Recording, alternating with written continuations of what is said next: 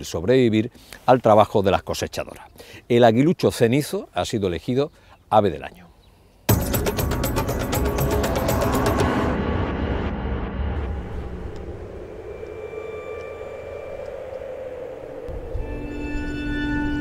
Es el aguilucho cenizo, declarada ave de este año por la organización conservacionista Seoverlife.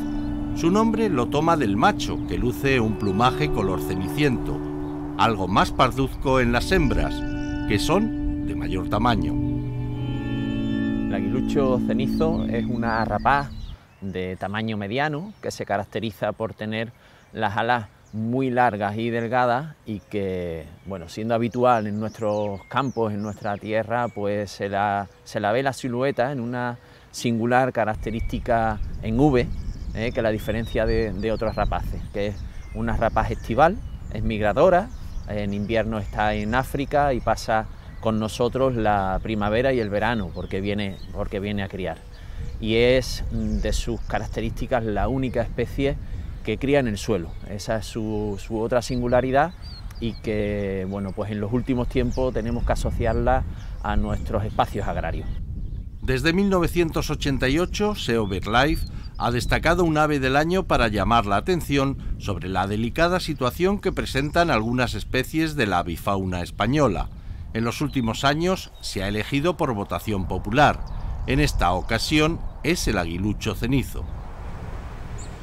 Nuestros socios y simpatizantes consideran que es una especie merecedora de atención por parte de la ciudadanía en general y de nuestros responsables políticos en particular merecidísima, mmm, pero muy triste, porque precisamente por lo que es declarada ave del año es porque su situación, su estado de conservación no es bueno. Está catalogada como vulnerable a la extinción, eso es la segunda categoría eh, de mayor amenaza eh, a la extinción en, en nuestro país, y aquí en Andalucía la situación no es mejor.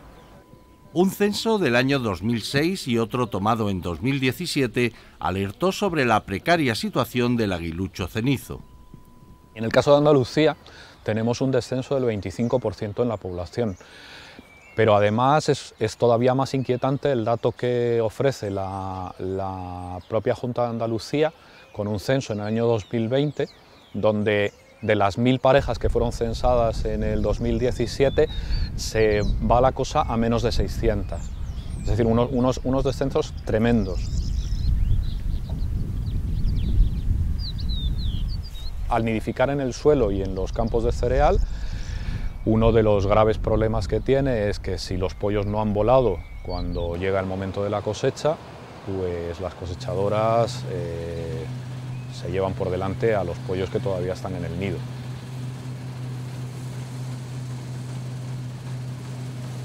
El reto pasa por buscar maneras de producir que los agricultores, que los ganaderos puedan tener una renta digna, pero que eso no suponga que tengamos que arrasar con todo lo que hay alrededor. Un compañero de, viaje y, una de los mejores plaguicidas naturales. ¿eh? Eh, porque su alimentación ¿no? de pequeños roedores, de insectos, pues lo convierten a esta especie asociada ¿no? a, a, esos cereales, a esos campos abiertos, en un aliado de, de la raza humana, ¿no? porque ayuda y, y, permite mantener esos equilibrios naturales ¿no? que siempre echamos tanto en falta.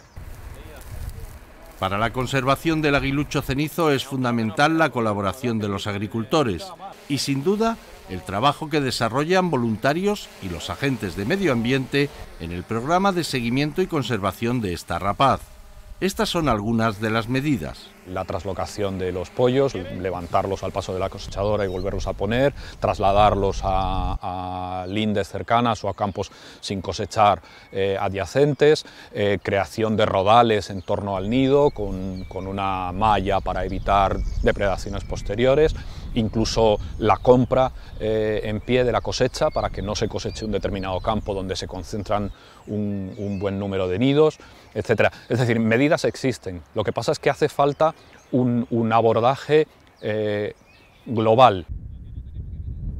La asociación Tumbaway, una pequeña asociación de voluntarios, trabaja, trabajamos en la comarca de la Janda, en el sur de la provincia de Cádiz, con la que es la colonia eh, que nidifica más al sur de toda, de toda Europa. Trabajamos esas técnicas de, hacking donde los pollos que lamentablemente tienen que ser rescatados ¿no? muchas veces de delante de las cosechadoras pasan por los centros de cría en cautividad y terminamos esa crianza semisalvaje con el objetivo de que después vuelvan ¿no? al lugar donde ellos piensan que han nacido y han crecido. Paradójicamente, los nuevos desarrollos energéticos renovables suponen también un peligro para las especies migratorias. Estos huertos solares que se llaman eh, son además desarrollos que ocupan una cantidad de hectáreas tremenda y esto lo que le quita es directamente el hábitat. Eh, no pueden ni, eh, ni criar, ni hacer los nidos y sacar adelante a la nidada, ni cazar el estrecho de Gibraltar es una zona muy importante en la producción eh, de energía eólica, hay muchos molinos, entonces que tengan que sortear todos estos campos, eh, todos estos espacios es, un problema para, ellos por, los riesgos de colisión, a la vez que la, propia, los propios desarrollos eh, eólicos en el campo de Gibraltar, en las zonas de, de cultivos de secano, también le quitan hábitat disponible a la especie.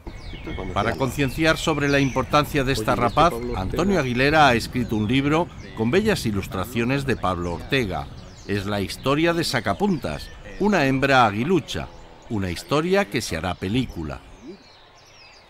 Sacapuntas fue la primera hembra a la que cuando conseguimos fondos le pusimos un emisor transmisor de GPS. La seguimos eh, en su periodo de migración, en su periodo de alimentación, en su periodo ya de cría, porque ya, ya, es, ya es adulta, y nos parecía que esa historia la teníamos que, la teníamos que contar, la teníamos que, compartir. Estamos trabajando en un documental sobre el aguilucho cenizo, una ave rapaz esteparia que ha sufrido un declive muy importante en los últimos años y bueno, esperemos que este documental pues igualmente sirva para dar difusión, concienciar a la gente de que, bueno, de que tenemos que intervenir desde, desde lo particular, desde las empresas, desde los gobiernos. En la elección del ave del año, tras el aguilucho cenizo, se han votado otras dos especies finalistas, también por su reducción poblacional o por sus amenazas de conservación. El alimoche común, al que se conoce como el buitre sabio, y la ganga ibérica. Con unas y otras especies tenemos que lograr que agricultores y ganaderos puedan convivir y seguir haciendo su trabajo, pero a la vez encontrar mecanismos que permitan mantener los equilibrios naturales.